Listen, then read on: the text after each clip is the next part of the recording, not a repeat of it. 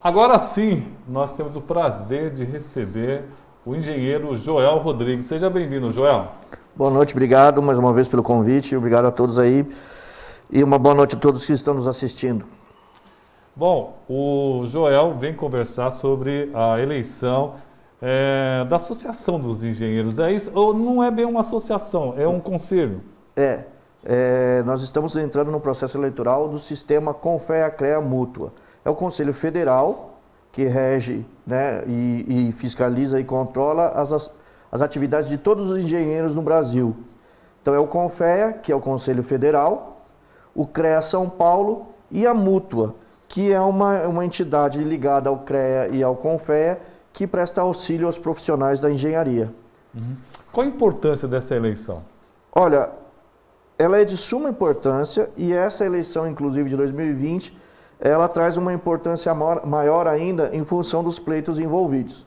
É, o pessoal está muito acostumado a ouvir falar de OAB, OAB, das eleições da OAB, da participação da OAB nas atividades eh, nacionais, do Conselho de Medicina. E o CREA é o Conselho de Engenharia. Então, os três das, dos principais conselhos do Brasil aí. Então, o que, que acontece? O CONFEA, ele traça, ele dita todas as regras de conduta dos engenheiros no Brasil. E o CREA, é o, São Paulo, é o conselho que fiscaliza dentro do território de São Paulo, né, da federação, as atividades de todos os engenheiros, geólogos, geógrafos, agrônomos, agrimensores, tecnólogos. Ou seja, todo mundo que tem a carteirinha do CREA para alguma atividade, hoje está vinculado ao CREA. Qual, é, é, importante é, saber da importância por, do, dessa associação, da, do, desse conselho, porque o, o, engenheiro ele é responsabilizado, inclusive criminalmente. Civil e criminalmente. Então, qualquer atividade, por exemplo, nós temos visto aí, na, pelo menos nos últimos meses, é, uma constante é, que tem assustado muito, que são edifícios desmoronando, Verdade. pontes caindo, é, e uma série de outros problemas. Nós tivemos agora em São Paulo a interdição das pontes. Então, toda a engenharia ela é responsável por toda a manutenção. Eu digo que o engenheiro é a profissão talvez mais próxima constantemente do cidadão. Porque se ele está na rua, pavimentação, a calçada. Uma ponte? Uma ponte, ela é desenvolvida por engenheiros. A sua casa, o edifício onde mora. Então, assim, o saneamento básico, né? a água, esgoto, a drenagem, tudo isso é feito por engenharia. E esse conselho que fiscaliza né, o, o, as atividades dos profissionais. Só que não são só obras, o, o Roberto. O pessoal tá, às vezes acha que é só o engenheiro civil, o mecânico, o eletricista, mas nós temos uma gama muito grande. Temos engenheiros ambientais, temos engenheiro de alimentos, engenheiro de computação. De segurança. Engenheiro de segurança do trabalho. Você tem os engenheiros agora, aqueles uh, de engenharia de equipamentos médicos, que chama-se engenheiro clínico. É, nós temos falado aí com a questão do Covid, né, desses equipamentos de sanitários para fazer asepsia, desinfecção. Tudo isso é ligado pela engenharia. Quem cuida disso são os engenheiros é, que cuidam dos equipamentos médicos hospitalares. Então, assim, é muito ampla e, e grande a nossa gama de atuação. Ah, ah, é que toda vez que eu, que eu falo, eu penso em engenheiro, eu penso que uh, tivemos no Rio de Janeiro, por exemplo, prédios que eram feitos com areia, com muito fraco e alguns caíram.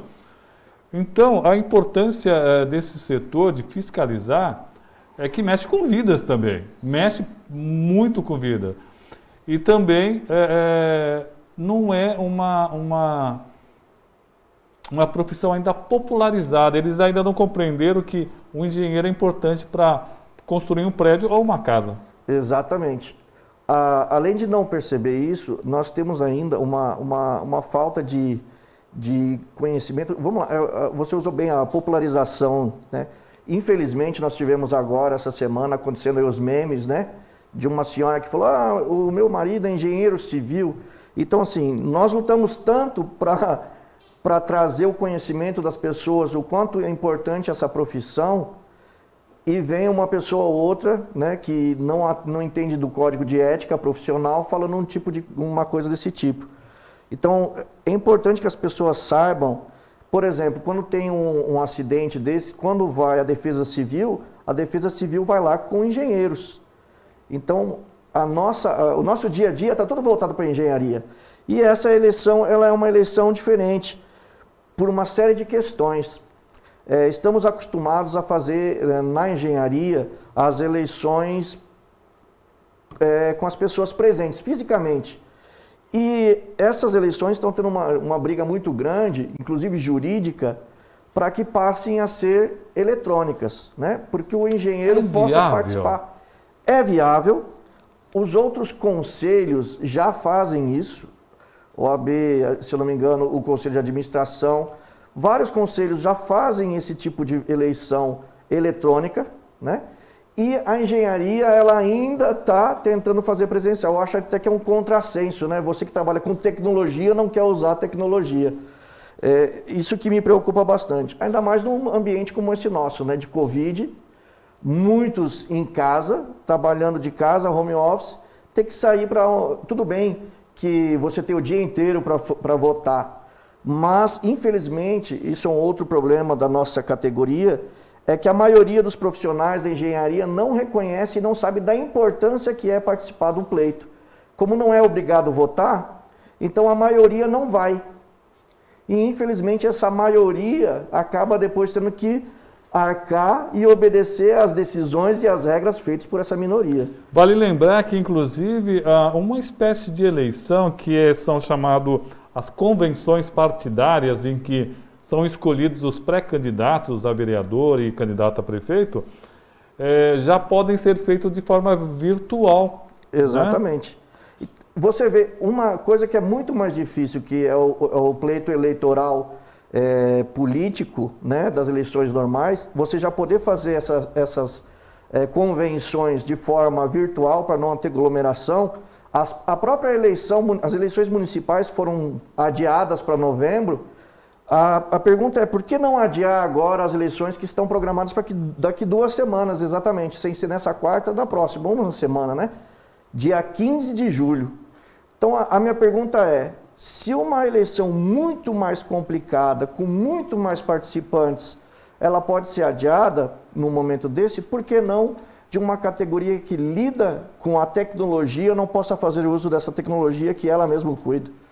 É importante perguntar isso. A Maria Joana nos acompanhando, Rogério da Zumba também conosco, Jupira Araújo. Já está esperando aqui a, a entrevista do Ramos da Padaria. O Elton Santos também conosco, já aqui, Mauro Higínio. É, a Bruna da nossa produção já está nos acompanhando também. O Danúbio Lima está dando boa noite para nós. O Fábio Teixeira está nos acompanhando. Obrigado, Fábio. Rodrigo Vieira, boa noite. O cenário ficou bem bonito, hein? Parabéns. Obrigado, Rodrigo. Júlio César Silva, boa noite, Roberto, equipe. E boa noite para a equipe da Tribuna Livre. Vereador Sérgio Inovação conosco. O meu amigo jornalista Sávio, Sávio Júnior. O engenheiro Jorge MS Santos com a gente. Júlio César Silva, estou na expectativa de mais uma entrevista com o vereador Ramos, tá certo? Marquinho dos Pimentas para nós. O engenheiro fala, Roberto, e grande abraço para o meu amigo engenheiro Joel Rodrigues, meu pupilo. Conheço o Jorge há muito tempo, ele é um Desde grande tempo que ele tinha cabelo não? Olha, eu não conheci ele nessa época não, viu? Marquinhos dos Pimentas, boa noite Roberto, Samuel e a todos os ouvintes. Abraço ao meu amigo Joel. Pessoa muito maravilhosa, de coração. Marquinhos dos Pimentas. Marquinhos é um cara sensacional também. O Lucas Bricker conosco, o vereador Gilvan Passos também aqui conosco. O engenheiro Jorge fala assim: presencial é devido a ser atual. Presencial é o profissional ter que sair de sua casa ou de seu trabalho para deslocar acaba não votando, fazendo um pequeno grupo interessado apenas se revezando. Eu acho que eu não entendi bem o que é. Vou tentar. O que ele quer dizer é o seguinte, que a, a eleição presencial, ela facilita e ajuda quem já está lá. Porque é um pequeno grupo que participa das eleições. Porque a grande maioria, o, Roberto, dos engenheiros, eles trabalham na iniciativa privada, em escritórios. Muitos dos engenheiros trabalham em áreas administrativas. Os engenheiros que trabalham nos órgãos públicos, nas prefeituras, eles não têm tempo e às vezes não ficam nem sabendo das eleições. Perfeito. Então eles não participam. E como a eleição eletrônica, de uma forma online, fica muito mais fácil de ele votar. Ele não precisa nem sair de casa, não precisa sair do seu trabalho. Eu acho que, né, eu tenho certeza, na verdade, de que a participação seria muito maior, ela seria muito mais democrática, muito mais gente participando, dando sua, a sua sugestão, o seu voto. Lucas Bricker, parabéns pelo programa, novo cenário e nova fase da TPL, sempre na torcida, meu amigo. Vereador Gilvan Passo mandando uma boa noite para nós, olha só que bacana. É, André Rodrigues Roberto, meu parabéns pelo novo cenário. André Rodrigues, a minha irmã está aqui também nos acompanhando. É, Rogério Zumba está é, tá dando boa noite ao engenheiro. O Elton Santos, vereador Ramos, logo, logo estará aqui conosco. Júlio César. É, essa pandemia no mundo está nos ensinando a, fa a se fa familiarizar com as tecnologias. É verdade. Bom, é, nós temos um convidado online. Falando em tecnologia, meu amigo, nós temos uma, um convidado online. Vamos fazer o seguinte: o, o, quem vai apresentar, Bruna, vai ser o engenheiro Joel Rodrigues. Pode, você pode apresentar o nosso convidado? Bom, boa noite. O nosso convidado é o José Manuel. Ele é um dos candidatos do, do para a presidência do CREA São Paulo e um dos engenheiros que tem brigado muito por essa questão do voto eletrônico da modernização e eu posso até chamar de refundação do CREA. Boa noite, engenheiro José Manuel. Boa noite, é um prazer falar com vocês. Um abraço a todos. O som está tendo microfonia, não sei. É, não sei se é o tamanho do, do, do... Alô? Vocês estão me ouvindo bem? Eu não sei. Vocês estão me ouvindo? Sim, estamos ouvindo. Alô, meus amigos. Estão ouvindo? Muito bem.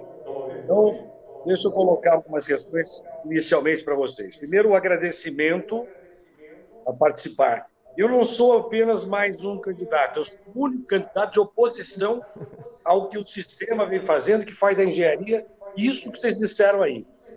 A engenharia só é chamada quando tem um acidente ou tem um problema. E a engenharia não pode ser chamada só nessa situação. Nós temos que ser referência em situações de desenvolvimento do país.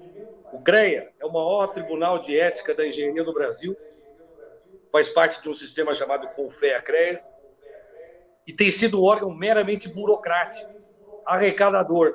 O Joel Rodrigues sabe bem disso. Nós não podemos continuar dessa forma. Nós temos que estar à altura dos desafios presentes e romper com o passado.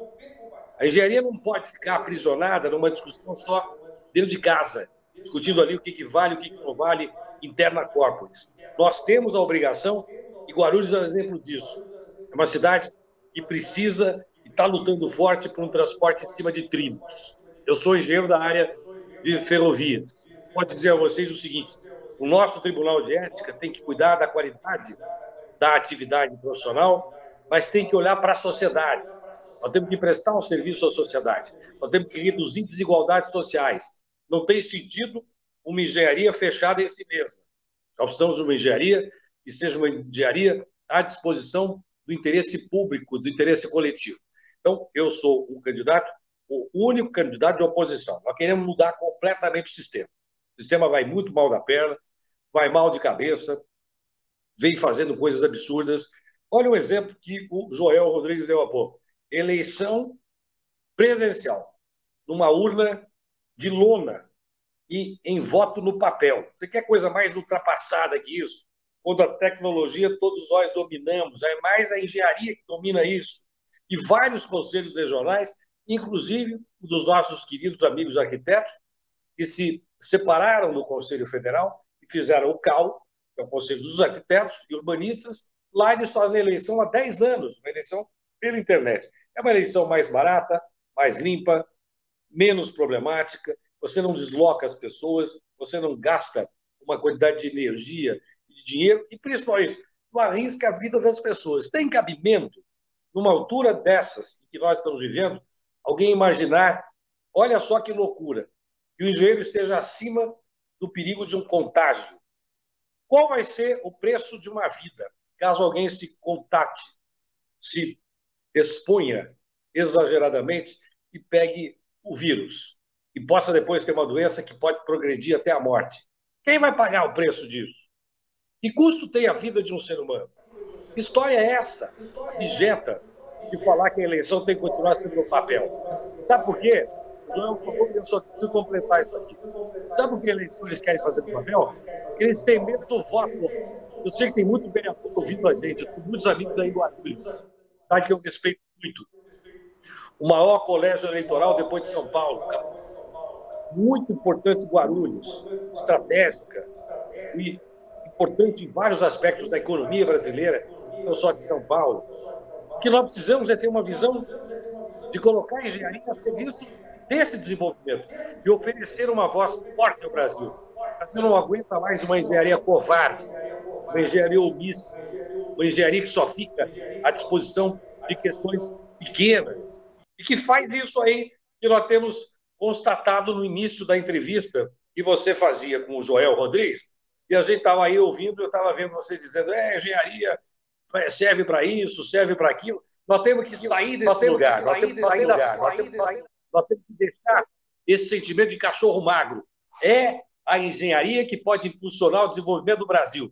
É a engenharia que tem que ser ouvida. É a engenharia necessária para a gente sair do buraco. Nós não podemos continuar deixando a engenharia sendo tratada dessa maneira irresponsável, como eu vinha dizendo, covarde, medíocre e pequena. Não é só resolver construir uma casa. O engenheiro pensa, projeta, planeja, organiza.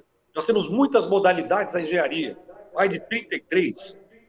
Temos uma porção de segmentos importantes, desde engenharia de segurança, como vocês disseram, engenharia oceânica, que cuida de obras no mar, nós temos engenharia civil, que é engenharia tradicional, engenharia mecânica, que é tradicional, temos engenharia mecatrônica, que já é hoje quase tradicional, um tempo atrás era novidade, que mexia com automação e mecânica.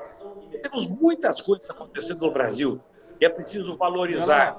Aí perto de vocês, tem que começar a pensar de Guarulhos, o país, né? indo até... Ela tem que ajudar também a pensar o país. Não é só um serviço braçal, mas também de pensar o país, de a engenharia nunca foi trabalho braçal. participar. A engenharia nunca foi trabalho braçal. É isso. É um equívoco que é culpa da engenharia que não se comunicou com gente como você que forma uma na rede de Guarulhos. Veja só, nós construímos uma Embraer. Você continua aí em Guarulhos, sai lá, vai para São José. Uma empresa orgulho do país, exportadora de serviços de alta qualidade. Nós estamos colocando satélite, um foguete. Isso é obra de engenharia. Nós estamos fabricando é, submarino nuclear, com apoio, inclusive, de tecnologia francesa. Nós estamos fazendo coisas impressionantes na engenharia, porque a engenharia está a reboque, silenciosa, quieta, num canto. Chegou a vez de dizer: acabou essa história. Nossa candidatura é forte, está crescendo a cada dia, vamos ganhar a eleição, porque nós temos um papel a desempenhar no país, em São Paulo e no país. Não é apenas a engenharia, como você disse aí, ó, resolvendo uma atividade pequena. Não, não é uma atividade pequena. É grandiosa, acredite no que eu estou falando. Sem engenharia não tem desenvolvimento. E nós não precisamos de desenvolvimento piado de fora. Nós podemos fazer o desenvolvimento pensado aqui dentro, utilizando recursos tecnológicos e capacidade aqui de dentro. Nós temos talentos para isso. Nós temos universidades, pensadores, gente da batalha, gente da luta. Aí o companheiro Joel Rodrigues, que não me deixa mentir, que representa o segmento do engenheiro, e eu tenho a alegria de ter do nosso lado. Estou pedindo voto para muita gente, estou pedindo apoio. Nossa candidatura cresceu, porque não é uma candidatura de mim mesmo. Não resolvi ser candidato. Eu represento a dança desse comportamento. É uma revolução cultural que a gente está propondo. É uma mudança estrutural. Chega de falar pequeno. Pois não. Em, como a gente tem um tempo aqui limitado, mais 30 segundos aí, você está falando de aproximação. Né? Eu tenho discutido bastante aqui sobre. É, a gente estava inclusive conversando com o Roberto Samuel, que é um desafio a gente popularizar a engenharia, deixar claro porque a engenharia está envolvida em cada pedaço. Até de alimentos, né? Então, até os alimentos que a gente come, né? Tem o agrônomo e tem o engenheiro de alimentos também, tem as duas pontas. Como é que você pensa aí em 30 segundos em aproximar não só a população em geral, mas fazer com que esses profissionais que hoje não participam do sistema passem a acreditar nele, né? porque todo mundo vê o CREA como um órgão arrecadador, simplesmente, né? ele só arrecada e nem punir não pune, né? ele deveria ser o punitivo, mas pouco fiscaliza, pouco participa da vida de cada um. Você conseguia dar uma pincelada rápida nessa, nessa visão? romper barreiras, enfrentar resistências, ter coragem, ter atitude. Lei não falta, precisa ter atitude. Nós não podemos é continuar covardes, num canto.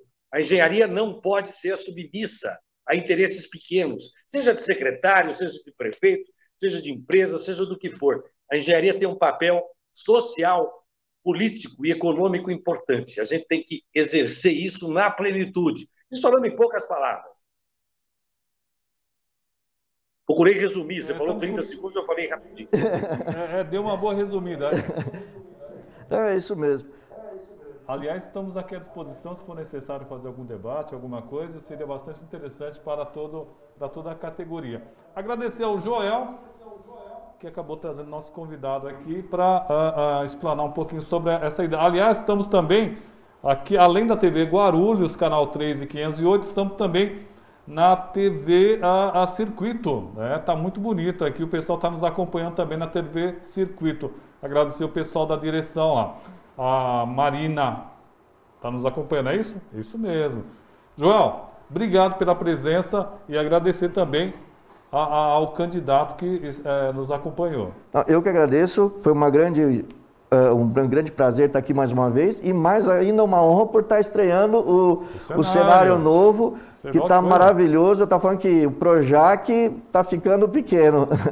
Ficou Graças muito bonito, muito obrigado. É importante, eu acho, que esse debate, e para não ser injusto, nós temos aí mais quatro candidatos a presidente do CREA, que eu Pode acho que. o nome, né? Que é o William Vieira Gonçalves, o Marco de Faveri o Vinícius Marquesi, que é o atual presidente, e o Rodrigo Fonseca, além do José Manuel. É importante que esses debates, essas discussões, elas sejam apresentadas para o público em geral também, porque já existe uma participação muito pequena dos profissionais. Uhum.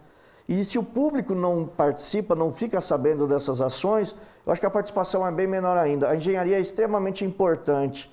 Sem engenharia, a gente não sai de casa e não volta para casa. E às vezes nem casa tem. Então é importante que todos entendam a importância do que é isso para a vida do nosso dia a dia, da nossa cidade e do nosso país. Sem engenharia não se constrói uma nação. Obrigado. Obrigado, José Manuel. Bom, agradecer a ele, agradecer ao nosso amigo Joel. E agradecer. a José Manuel, muito obrigado. Alô? É que eu perdi o som de vocês. Eu estou agradecendo, muito obrigado, um forte abraço. E eu acho muito importante um programa como o de vocês, que discute um assunto como esse e que aproxima a engenharia da realidade do dia a dia das pessoas. Tá bom? Ô, José Forte Manuel, abraço, só uma dúvida. Parabéns, sucesso. Oi? Você disse que teria uma live, uma reunião remota na quinta-feira com os engenheiros de Guarulhos, é isso? E região? Olha, é que eu tenho, eu tenho um grupo de voluntários e voluntárias que está fazendo a minha agenda. Eu não sei exatamente agora, para quinta-feira, mas acho que tem sim. Vai ser um prazer estar com vocês. Joel, você participe lá, esteja com a gente. Nós estamos fazendo a diferença. Nós estamos fazendo a diferença e vocês vão fazer a história junto com a gente. Vamos fazer essa história, vamos mudar essa história. Ok? Forte abraço. Forte abraço. Agradecendo Obrigado. aqui, inclusive, Maria Clara, que está nos acompanhando, a minha netinha, Maria Clara, lá de casa, que também ajudou a desenhar esse cenário aqui. Obrigado, meu amigo Joel Rodrigues. Eu que agradeço mais uma vez, Roberto Samuel. Quinta-feira, só para não esquecer, se eu não me engano, eu vou depois, a gente passa pelas redes sociais, a, a, uhum. com certeza, acho que será por volta das 19 horas, não tenho certeza. é, me passaram que vai haver uma live, uma reunião remota com o José Manuel e ele está chamando todos os engenheiros, e é importante para quem trabalha na prefeitura, em órgãos públicos, de Guarulhos e região. Então, profissionais da área tecnológica que trabalham em, em órgãos públicos e para órgãos públicos. Quinta-feira. É, depois mais informações está no meu, no meu Facebook, no meu Instagram. Joel Rodrigues. Joel Rodrigues. Obrigado, gente.